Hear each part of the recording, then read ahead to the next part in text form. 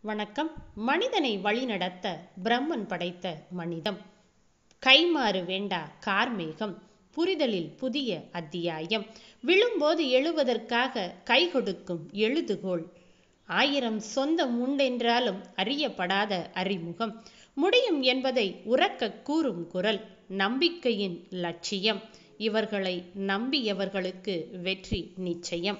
வாழ்வில் வந்து போகின்றவர்கள் பலர் வாழ்வை தந்து போகின்றவர்கள் இவர்கள். வறுமை ஆளப்படும் போது மீட்டெடுக்க கல்வியால் தான் முடியும். கலங்காதே ஆறுதல் சொல்லி ஆற்றுப்படுத்த ஆசான் மட்டுமே ஆதாரம்.